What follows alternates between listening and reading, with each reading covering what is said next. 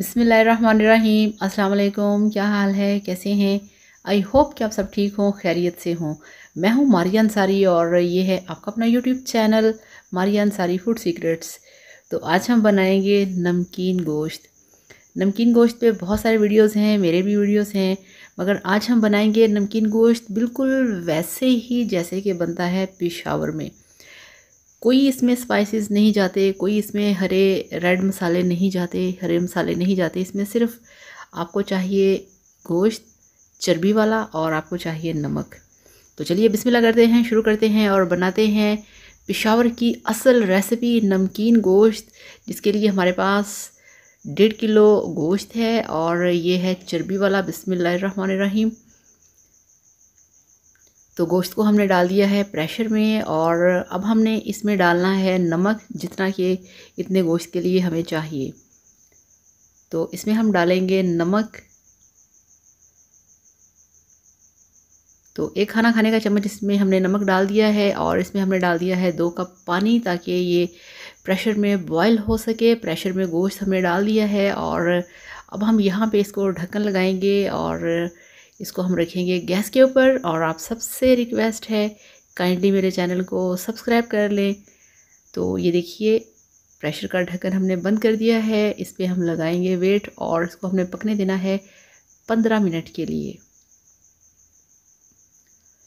तो ये देखिए, पंद्रह मिनट गुजर चुके हैं फ्लेम ऑफ़ है और स्टीम निकल चुका है। अब हम प्रेशर का ढक्कन खोलेंगे। बिस्मिल्लाह रहीम तो इस तरह से ये बिल्कुल जो स्टीम है, अभी भी वो निकल रहा है प्रेशर में से।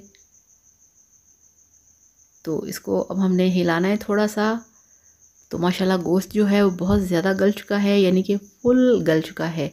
और अब इसको कढ़ाई में निकालते हैं। तो ये देखिए गोश्त को हमने निकाला है अपनी कढ़ाई के अंदर। और यहाँ पे अब हम थोड़ा सा इसका फ्लेम जो है उसे हाई रखेंगे और इसको हमने इतना भूनना है, इतना फ्राई करना है कि जो इसका पानी है वो खुश्क हो जाए और जो इसकी चर्बी है, जो इसका ऑयल है वो बाहर निकल आए। तो ये देखिए, यहाँ पे बहुत मज़े की खुशबू इस वक्त आ रही है, उबले हुए गोश्त की और इसका जो एक चर्बी का फ्लेवर होता है, जो खुशबू होती है और गोश्त जो है वो बिल्कुल गला हुआ है। तो ये देखिए, यहाँ पे हमने 10 मिनट के लिए इसको हाई फ्लेम के ऊपर इसको भूना है, इसको फ्राई किया है और यहाँ पे आप चेक करें कि जो गोश्त है वो माशाल्लाह बहुत सॉफ्ट हो चुका है और उसका अब जो रेशा है वो आपको नज़र आ रहा है कि टूटना शुरू हो गया है।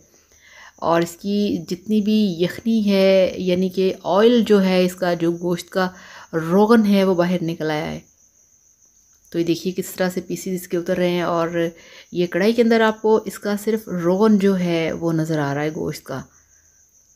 कोई इसमें चीज़ नहीं डलती, बिल्कुल जो हमारे पेशावर के लोग हैं वो इसी तरह से ही बनाते हैं और ये देखिए ये जो बोटी है, ये जो पीस है, ये चर्बी का है। नमकीन गोश्त हमेशा नमक में और चर्बी में बनता है। आपका यहाँ पे दिल करे तो आप इसमें एक गिलास पानी डाल के इसकी थोड़ी सी यखनी भी कर सकते हैं और अगर इसको ऐसे ही आप खाना चाहें तो आप इसको ऐसे ही रहने दे सकते हैं। तो अब ये बिल्कुल बिल्कुल तैयार है और यहाँ पे अब हम इसमें चम्मच नहीं हिलाएँगे। तो ये देखिए, बिल्कुल अब ये तैयार हो चुका है।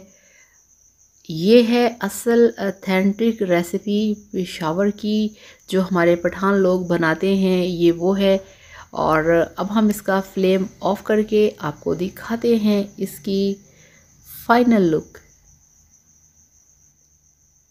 तो ये लीजिए, अल्हम्दुलिल्लाह, माशाल्लाह, आपका पिशावरी नमकीन गोश्त बनके तैयार है। इसके साथ पीजिए गर्मा गर्म कहवा। तो इसको इस तरीके से बनाइए, खाइए इंजॉय कीजिए और वीडियो को लाइक करिएगा, चैनल को सब्सक्राइब करिएगा। थैंक यू सो मच अल्लाह हाफिज़।